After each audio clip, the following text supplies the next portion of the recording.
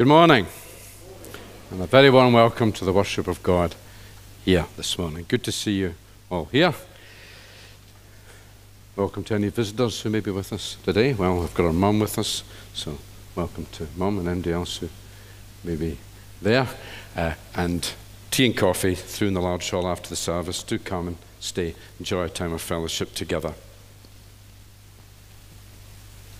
This evening we have our cafe style service here in the hall, six o'clock. All are welcome to that, and we will continue our journey through the gifts of the Holy Spirit, looking this evening at the gift of prophecy. The special weekly prayer gathering in Trinity Church session room continues uh, this week, 5:30 to 6, just a short, focused time, Tuesday evening, 9th of April. That's in person. Um, good times we've had so far, and we need to continue with that. So momentum grows towards the mission in May. More of that during the service. Uh, and our own prayer meeting on Zoom, 7 o'clock on Thursday, the 11th of April. The Kirk session meet in the lounge on Tuesday, 9th of April, after the stated annual meeting at 7 o'clock. Normally, we have the stated annual meeting as half past 7 after we've approved the accounts. We've already approved the accounts of the session. So the stated annual meeting is coming first. That's open to all members of the congregation, and this edict needs to be read in that connection. A meeting of the communicants and the roll of Teviot and Roberton Church will be held in the lounge on Tuesday, 9th of April 2024 at 7 pm, at which the Kirk session will submit a statement of accounts for the year ended 31st December 2023 by order of the Kirk session, Alistair Cook, moderator. So you've been duly served with that edict. So all members of the congregation look forward to the lounge being packed out with the congregation at 7 o'clock before we continue thereafter. In the past years, it's been Sheila, and it was Mary before that, but uh, then Mary became an elder, so she was there anyway. So I think Sheila, so anybody else who wishes to come, very welcome. Next Sunday, our services 9:45 in St Mary's and 11:15 here in Teviot as today our new pattern for this four months. So that's all the intimations. Let us worship God. We're going to have the um, call to worship. Some words from Revelation 7, verses 9 to 12. I'll say the words that are not in bold, but if you can join in with the acclamations of praise to God in bold. There's two of them. That'll be good. After this, I looked, and there before me was a great multitude that no one could count from every nation, tribe, people, and language, standing before the throne and before the Lamb. They were wearing white robes and were holding palm branches in their hands, and they cried out in a loud voice Salvation belongs to our God who sits on the throne. Oh, ah. All the angels were standing round the throne and round the elders and the four living creatures. They fell down on their faces before the throne and worshipped God, saying, Amen. Praise and glory and wisdom and thanks and honor and power and strength be to our God for ever and ever. Amen. Amen.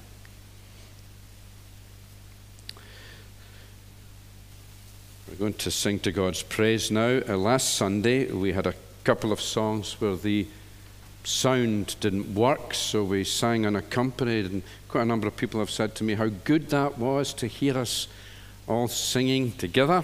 So, taking us at our word, and we're going to sing Psalm 100 unaccompanied, fairly well known psalm. I've chosen it because the opening speaks about the whole world being called to worship God, which ties in with our theme today. So we're going to stand to sing unaccompanied. I'll be the presenter. We'll lead, follow my lead. But do remember, you're allowed to sing harmonies as well. So don't feel because I'm singing unison, you need to sing unison. If you can know the harmonies, join in with them, and we will be and the music makers ourselves with our voices, even though there's no band or organ. Let us stand to worship God.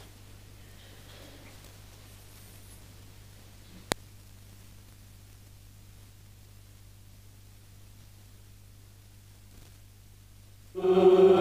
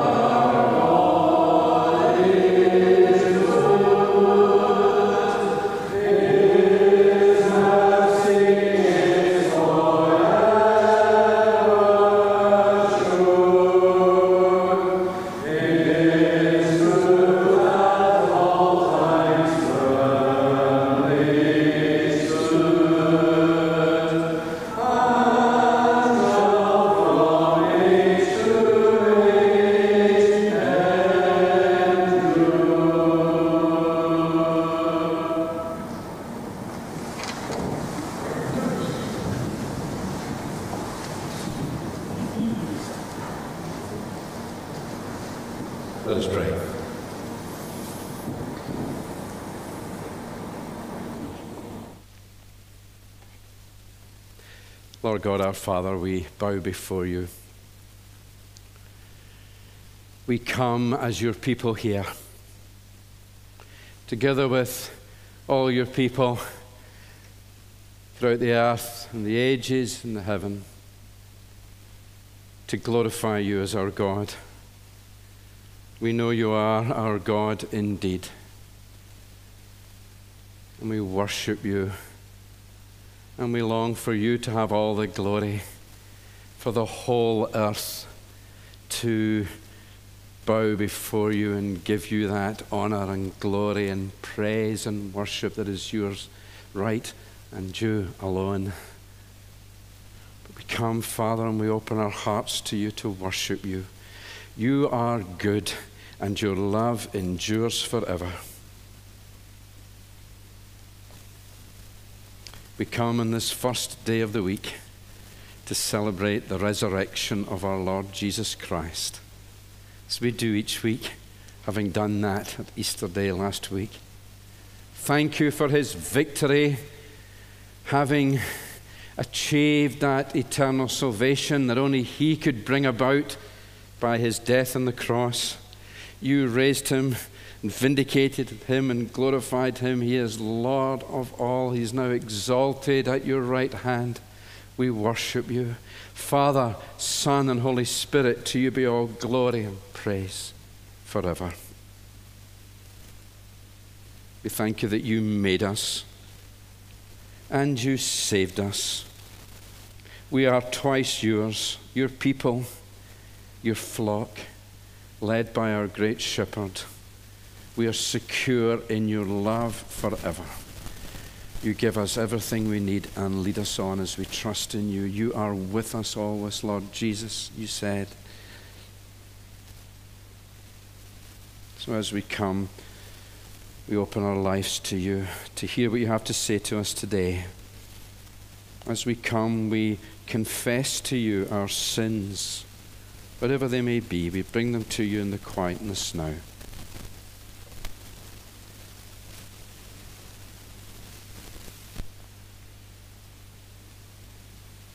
Thank you, Father, that if we confess our sins, you are faithful and just will forgive us our sins and cleanse us from all unrighteousness. May that be our assurance now.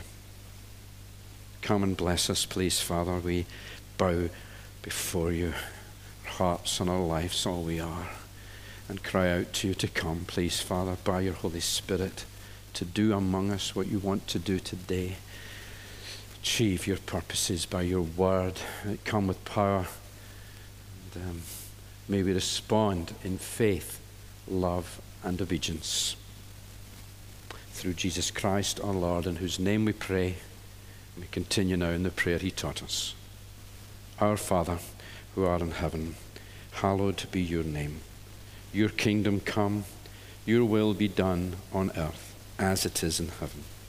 Give us this day our daily bread, and forgive us our debts as we forgive our debtors. And lead us not into temptation, but deliver us from evil. For yours is the kingdom, and the power, and the glory forever. Amen.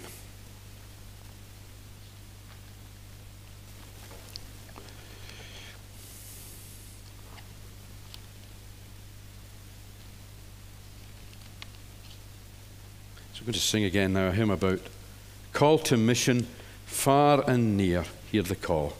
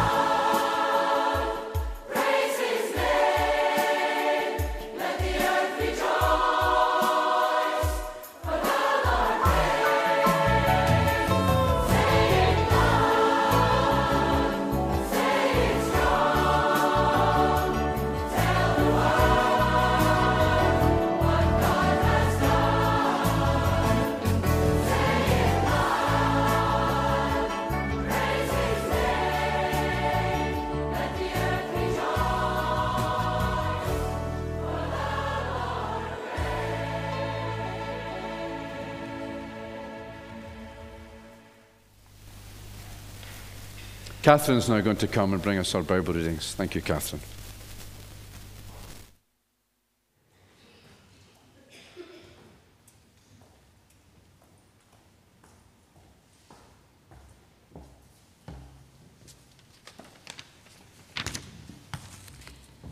The first reading this morning is from Isaiah chapter 60, verses 1 to 6, and is on page 748 in the Pew Bible.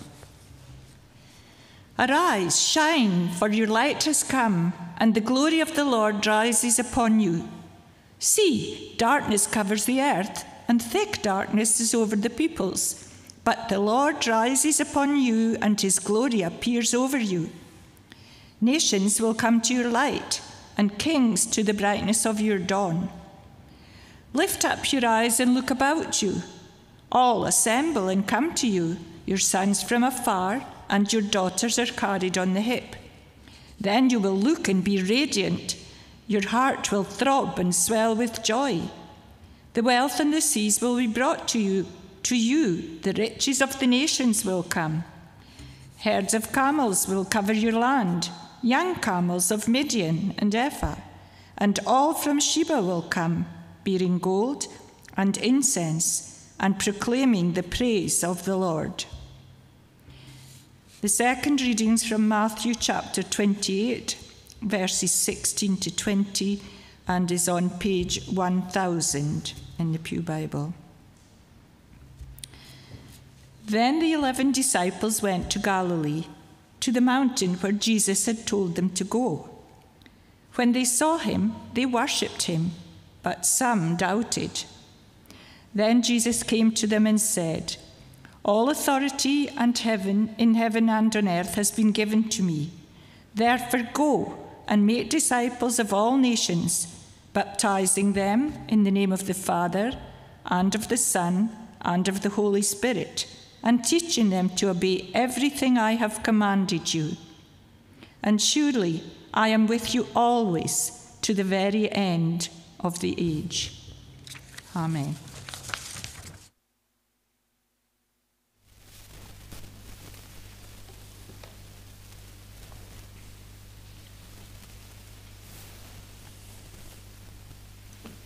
So let's sing again about that worldwide mission of the Lord from the sun's rising to the sun's setting.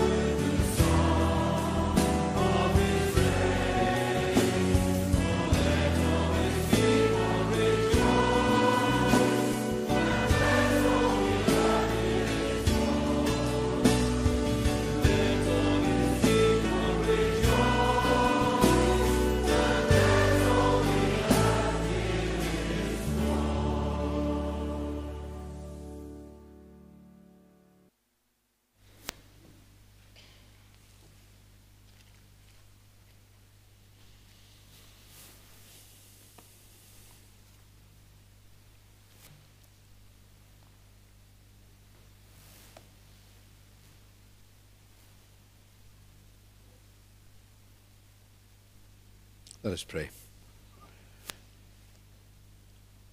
Lord, please speak through your word now to our hearts that which you wish us to receive today, which you've sent to achieve your purpose in our lives and the life of your church and its mission here in this place.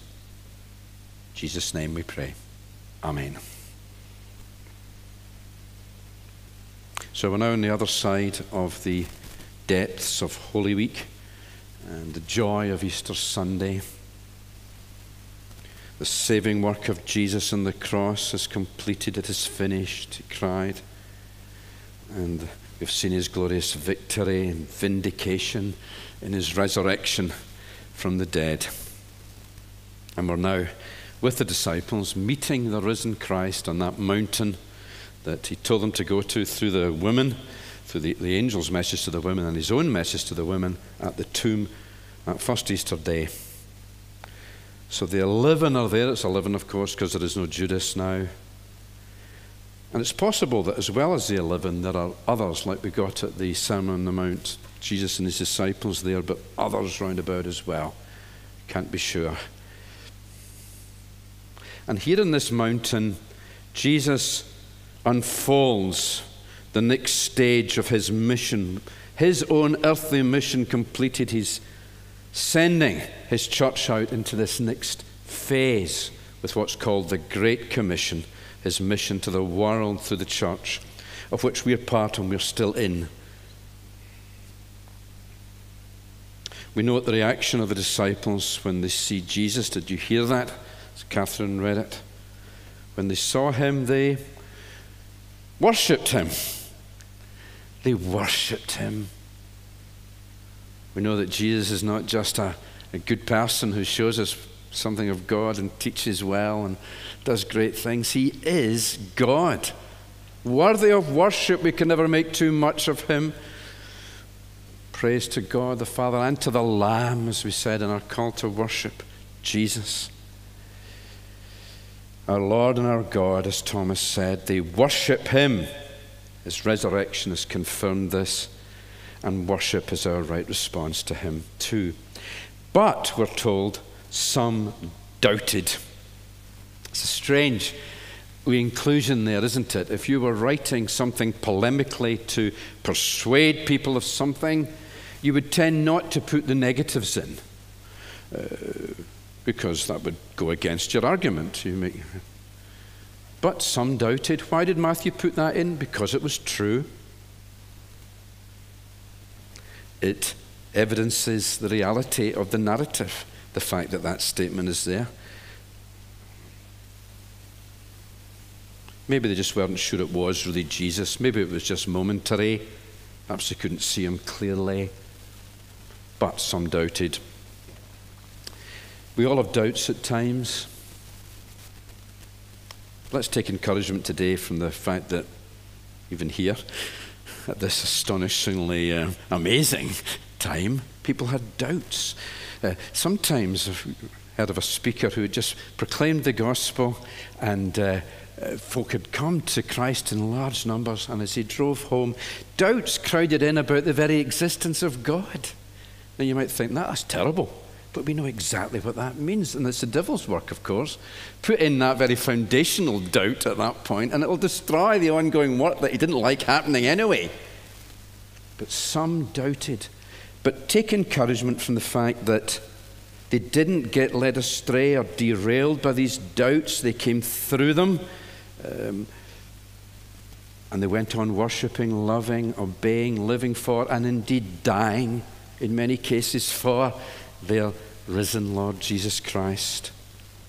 Someone has helpfully said, Never let what you don't know shake your confidence in what you do know.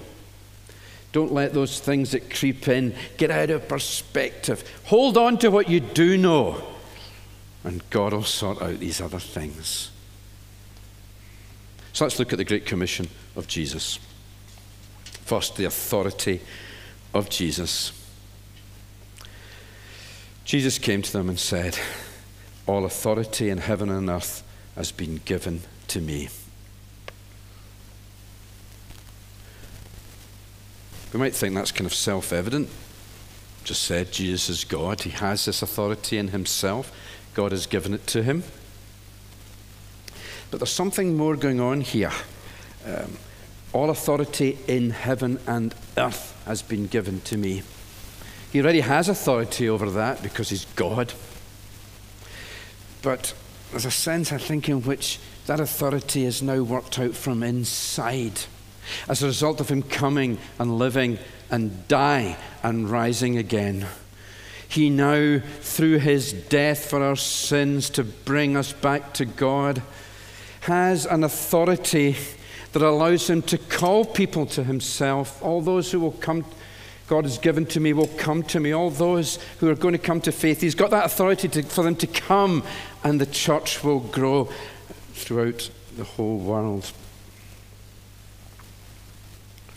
So we've seen that authority already in his ministry over nature, disease, demons, death. His teaching, which was markedly differently different from the religious leaders, his authority to judge. It's important to remember that. It's been given to him, the authority to judge everyone. Yes, Jesus. His authority in the lives of his disciples, his authority, in his lovely thing. He said at one point that uh, no one takes my life from me, but I decide when I lay it down and when I take it back up again. That's authority, isn't it?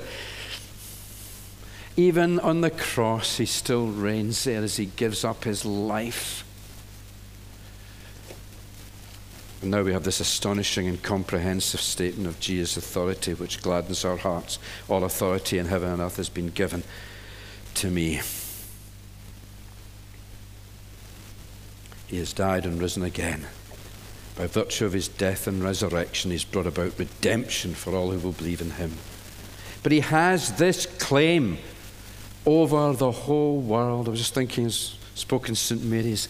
That's an audacious claim, isn't it, in our day? It goes against our secular mindset, which so infects us, our pluralistic um, kind of syncretistic, bringing things together, you know, that's okay for them. No, Jesus says, All authority in heaven and earth has been given to me. Hear the full impact of that for what it means for every single human being, indeed for the whole of creation, that Jesus is Lord. He is the one to whom authority and power is given. Our mission partner, Sam and Ruth Lee, served for many years in Laos in Southeast Asia. And Sam said that when he first arrived in that country and stepped off the plane onto the tarmac, onto the, the ground of that country, the words of Psalm 24 came to him The earth is the Lord's and everything in it. And he welled up at the thought that this faraway land, sent there by God for this purpose, um, Buddhist, communist, nonetheless, all authority in heaven and earth is given to Jesus, and that's so everywhere. Here in Hawick, too. Sam and Ruth now have a new role in um, very widespread role in seeing people in Europe and Africa from countries that don't have their own OMF base and office, seeing them sent out on mission. Um, he was speaking about Christ is the Answer ministries in Kenya. Uh, they want to send missionaries to every country in the world. Well, that's a big undertaking for Sam and his team. So um, pray for them because they're both off work, Sam and Ruth, at the moment. Sam had a heart attack, no tissue damage, but two stents put in. He's off for a month. Ruth had a recurrence of epilepsy that she's not had for 20 years. She's off work for a month, and other folk are taking on this work. Pray for them. Frontline work, you see, they're based in Netherlands now, but they're sending workers out. The earth is the Lord's and everything in it. All authority is given to me, says Jesus. So we come to the command of Jesus. All authority has been given to me, therefore, go and make disciples of all nations. Do you notice here that this instruction command is not issued on the basis of the great need of people, which is great. It's not issued on the basis of our desire to do it, sort of inspiring us to do it from inside so that that wells up and we want to do it, although that's important too. Do you see the basis of it? It's simply a command on the basis of the authority of the Lord. Go! It's not feelings based or needs based.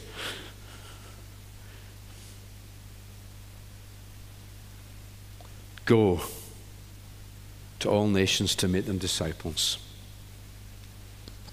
Here's a map of the world. I thought it'd be useful to have a map of the world. You'll not see all the countries there in it, but uh, it's good to see it spread in that projection in front of us. Makes some of the countries look bigger, we know that, but uh, there it is. No part of this world is excluded from this command of Jesus go and make disciples of all nations. This worldwide mission was God's intention from the start. It was never just to be focused on his people in Israel. They were to become a light to the Gentiles, take it to the world.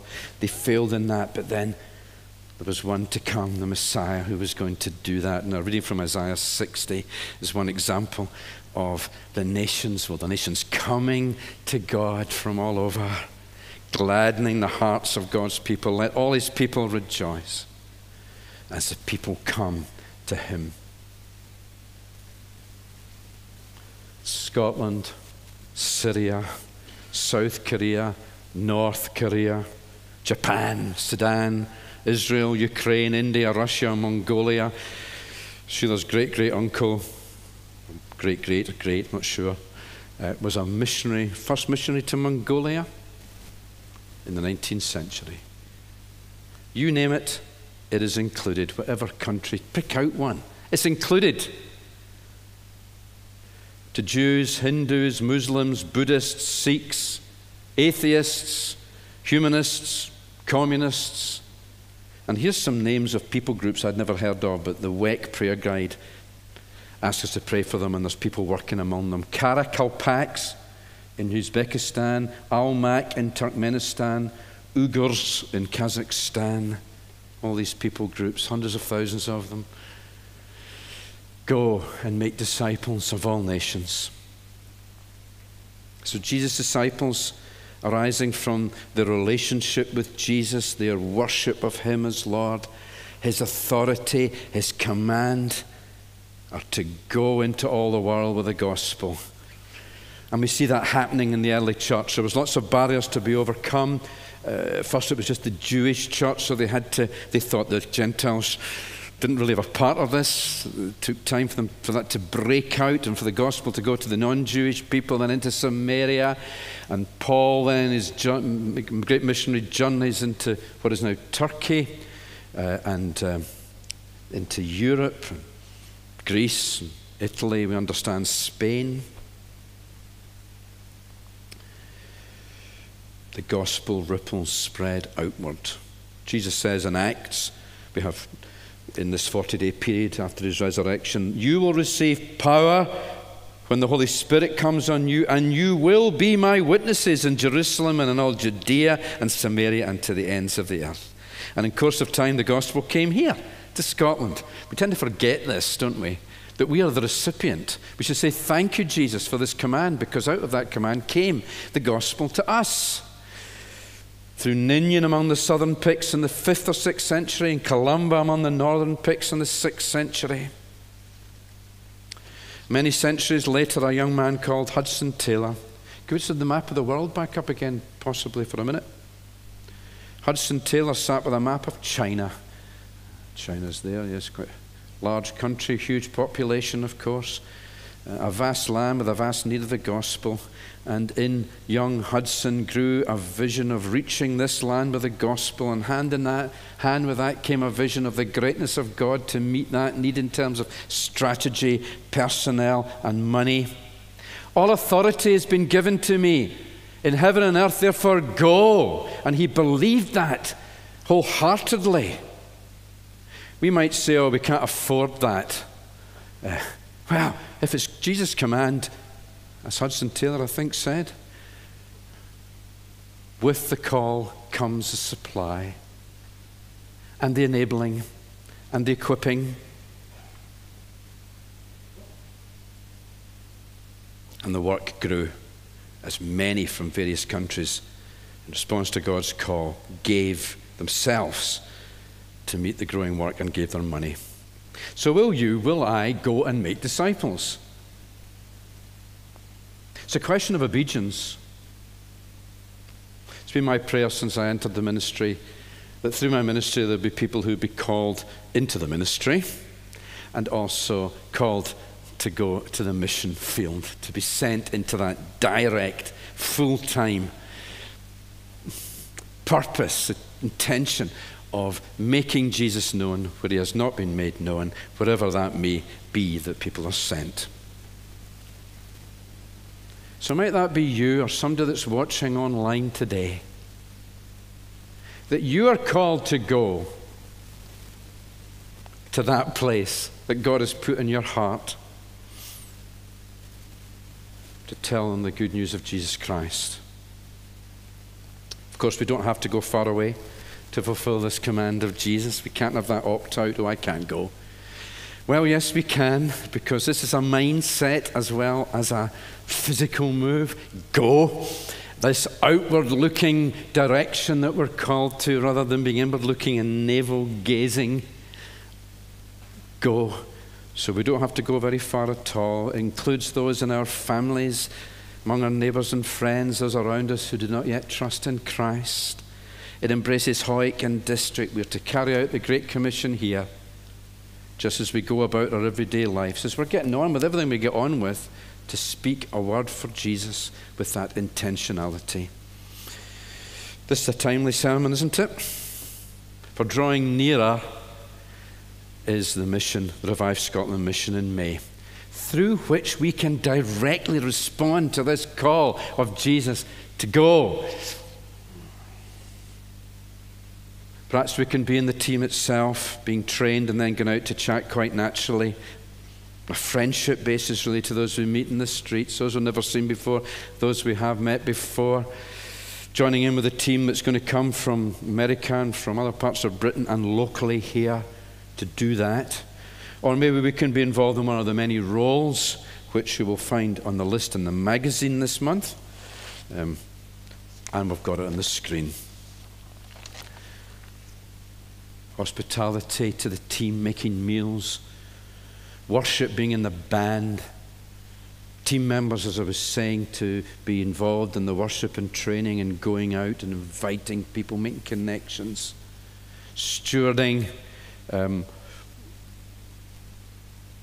stewarding at the events Thursday, Friday, and Saturday afternoon, Thursday and Friday and Saturday evenings, car parking where the toilets are, interacting with people, response team when people come forward at the end of a meeting, they need to be spoken to and prayed with, perhaps led to Christ, told what the next steps are, counselled. Uh, first aid, if anyone's a first aid certificate, they can support the events. Prayer meeting Monday to Wednesday at 7 o'clock at the HQ, which is Trinity Church. Face painters. Anybody good at face painting? As you can gather, I'm not, but uh, some of you might be. Advertising, going round putting the flyers in shops. Well, Joyce can do that in her shop, but all the other shops and places in the town, they'll come two weeks in advance and they need to be placed security. They want people to go and camp out out in Brunton Park and Burnfoot for a couple of nights. That's, that's, how, how about that for a wee a short holiday? Staycation up in Burnfoot, camp there um, to secure the stage and all the rest of the things that will be left out. Local testimony, people to see how Jesus has changed their life at the meetings on Friday and Saturday, and they want local people to do that so it's embedded in the culture here. Accommodation, usually for single females, about three or five, three to five of them, if you can give a bed for the night. And sign makers help by making rudimentary A4 sized wooden signs, so if you're good at carpentry to advertise the event. So you see, there's lots of different ways we can be involved. Pray what that is for you. And see this as a great opportunity to obey the Great Commission. encourage people in our families and among our friends, people we come in contact with as we play sport or engaged in whatever it is we do. Invite them to come along. Take them along to the meetings, and we can all pray for Jesus' power to be at work. Go. Jesus says, Go and make disciples. We need to note this. He doesn't say, although this is what we want to see happening, go and bring people to trust in Jesus and come into the church. No, he doesn't say that. He says, it's much more holistic and deep, isn't it? Um, and thoroughgoing. Go and make disciples. Uh, one who is a pupil, a student, a learner of and from Jesus, who's under the discipline of Jesus, for whom Jesus is Lord, for whom that's growing and developing all the time throughout our life, whatever age and stage we are, because somebody said the school days for a Christian are never over. This is lifelong learning. We don't graduate with a mortarboard like they do from nursery into primary school now. It's lifelong. I was thinking of the amount of time, attention, and effort someone might make in other areas of life, in your work, profession, whatever it might be, uh, in developing their golf swing. And I got a joke that came through the, this morning uh, from Golf Monthly, but it's Ronnie Corbett. Um, my wife has the ridiculous idea that I spend too much time playing golf, give it too much attention. It came to a head at 11:30 last night uh, when she said, "Golf, golf, golf. That's all you think about. That's all you do, and that's what exercises your mind and fills your life." I got a bit of a fright, I can tell you, he says, because you don't expect someone to come up to you in the 14th green at 11:30 at night. The amount of time people spend on their hobbies, on their sports, practicing their instruments, music, rugby practice, whatever it might be, time with family and friends, spouse, loved ones, all good stuff. But how much more should we be growing in our relationship with Jesus? Does that get sidelined? Well, it's not to. Go and make disciples. We need follow up. Um, Revive Scotland News Hope Explored, and it's really excellent that Robin Turton of the Baptist Church works with Christianity Explored, knows Hope Explored really well, has run courses, and is able, therefore, to help us coordinate the follow up, this short three or four week course. For those who respond, to be fed into so they can be grounded in this faith or explore it further. Um, be grounded and discipled, and then find a place in a local church where that discipleship can continue. Need to get that in place before we start the mission. We can't wait till afterwards and put that in place. Go and make disciples of all nations, baptizing them. Baptizing them.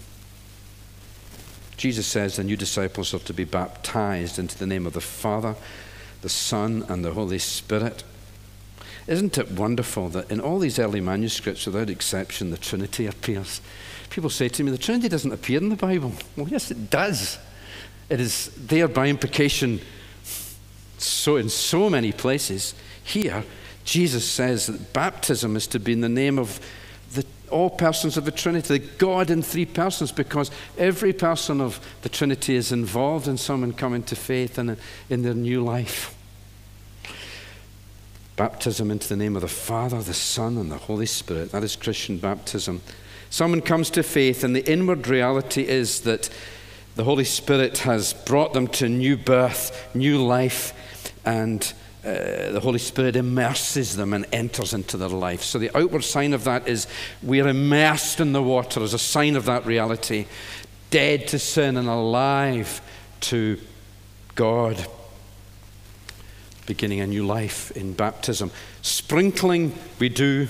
Some churches don't do any sprinkling, say it's got to be full immersion. We do sprinkling and full immersion. If someone wants to have a, a big uh, birthing pool or paddling pool up the front here, that's great by me and hopefully by you. We need to, there's practicalities about it, but there's nothing like the symbol of adult baptism when someone gives their testimony and goes down into the water and comes back up again. Burnt their bridges for the past, moving on into the future with the Lord. In some parts of the world, to be baptized is a serious, costly step.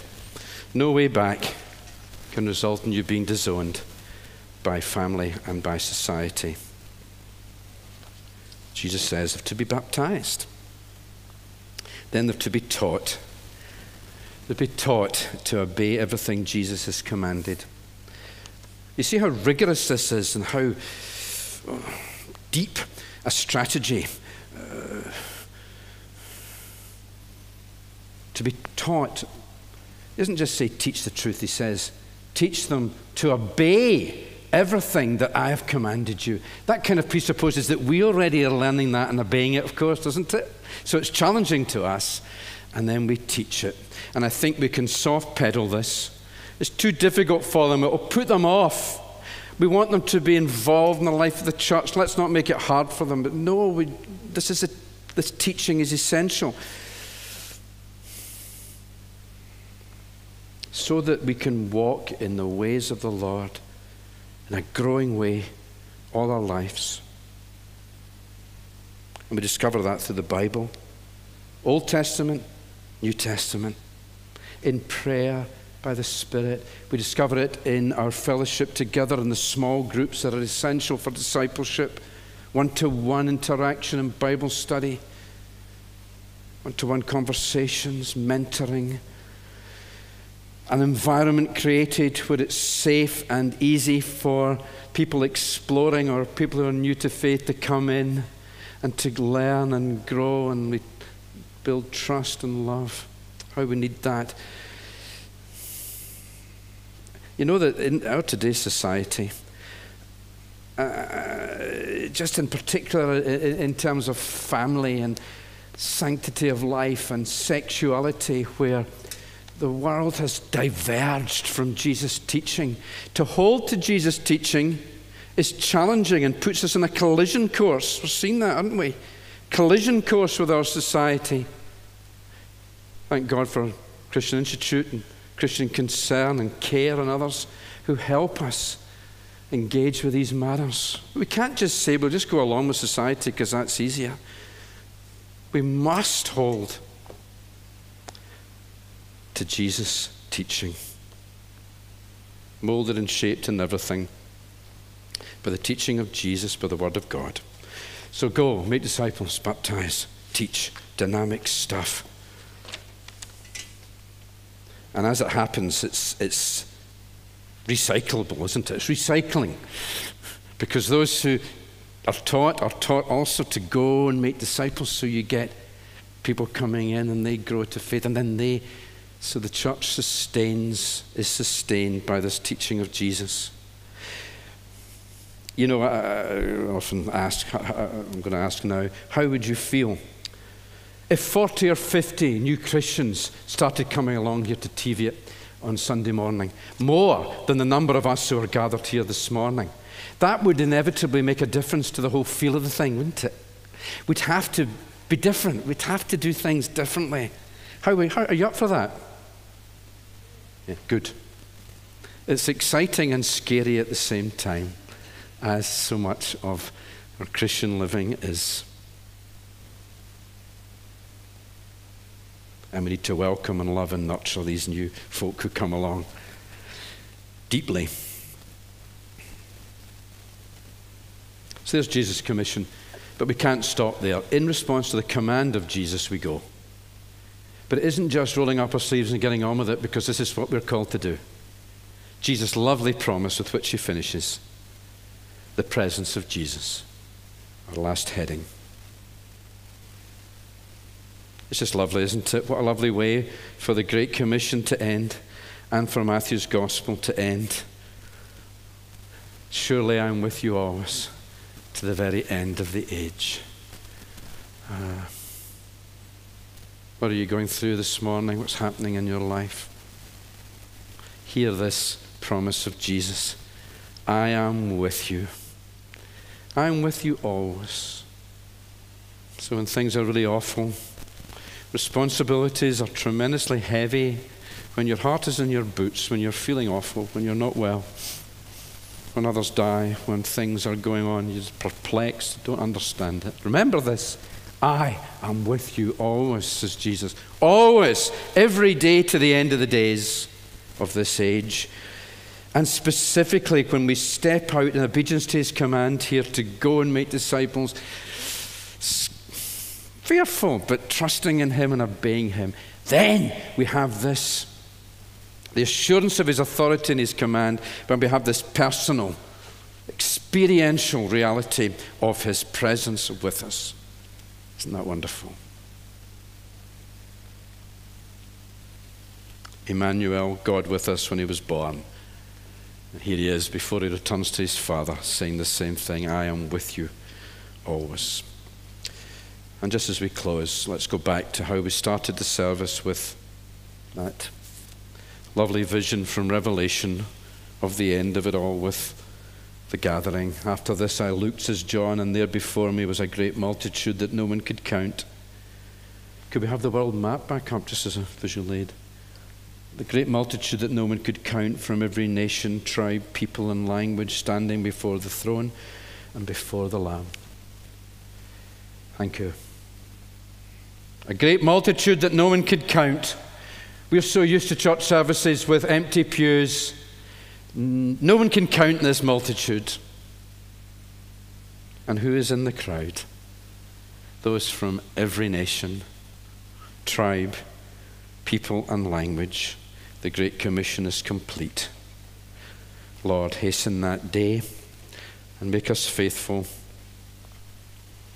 to obey your Great Commission today and as long as we have breath. Amen.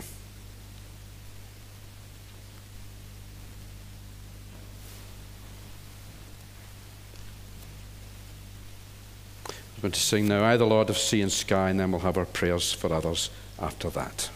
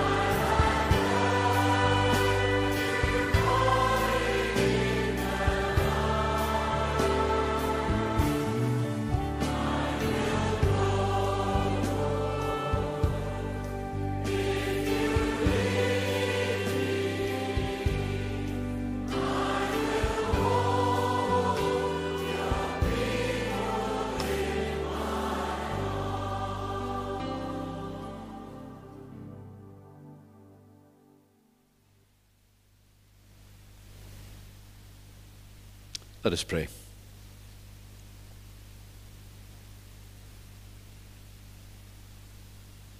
Lord God, our Father, we praise you for the good news of Jesus Christ, your Son, for the salvation he has brought about for us through his cross and resurrection. He is the Lamb who was slain. As we have heard this morning, his command to go and make disciples of all nations. May we obey him, to whom all authority in heaven and earth has been given, knowing his presence with us in it always. What a strategic call this is, Lord.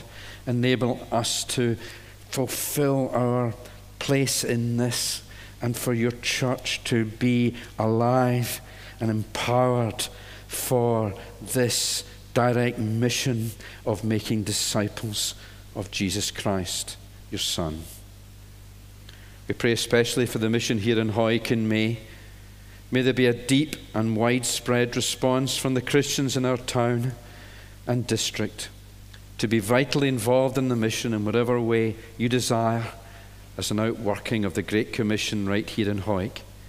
May the authority and power of Jesus be at work within the team and all who take part, those from the USA and other parts of Britain, those from here, so that we know we are serving not in our own strength, but His. May there be your protection over and around it all. May there be remarkable unity in Jesus across the team.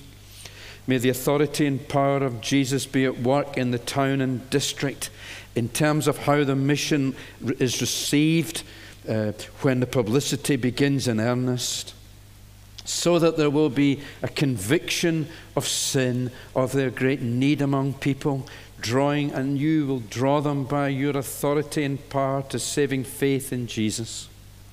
May they be baptized and be discipled well and find their place in a church fellowship where they grow in their faith. And may there be great joy in this town and district. Father, we ask your blessing on all who have gone far from home to bring the gospel to the nations. We pray for Sam and Ruth Lee and the family in their new role, seeking to see people in Europe and Africa sent out to Asia in mission. Please heal them both and restore them to full health to be able to carry out their work. May they find the partnerships and systems and have the resources and people to be able to develop this work in a sustainable and substantial way. Pray too for their daughter Lisa on board the OM ship Logos Hope, bringing the gospel to different places the ship goes to. Be with her as you have promised, and may she be very aware of that even right now. Sovereign Lord, we continue to pray for all who are caught up in the war between Israel and Hamas. May there please be an end to it in accordance with your purposes. May those bereaved be comforted. May the hostages be released. May those who are in so much need have the practical help they need. May there, in your mercy, be a just peace. Father, we pray for those among us who need our prayers, those who mourn the death of a loved one May they look to you and find the comfort you promise to those who mourn. We think too of others who need our prayers for whatever reason. We ask you to be at work in your grace in those who are unwell or injured in body or in mind, who are going through tests, treatment, surgery, or awaiting those things. We name them before you now in the quietness.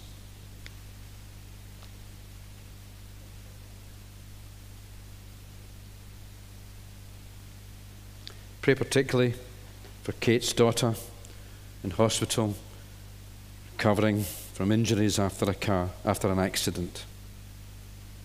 Pray for your healing hand upon her.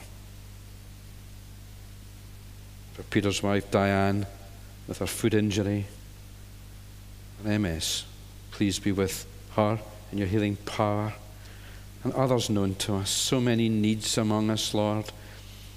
We bring them to you lovingly to your compassion, for you to act in your compassion. Hear us, Lord.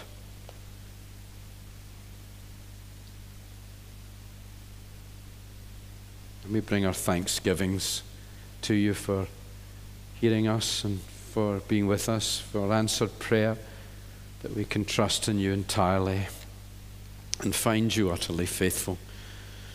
Always. Thank you. So we bring all our prayers, spoken and unspoken, in Jesus' name. Amen. So let's conclude our service by singing facing a task unfinished, as it is just now.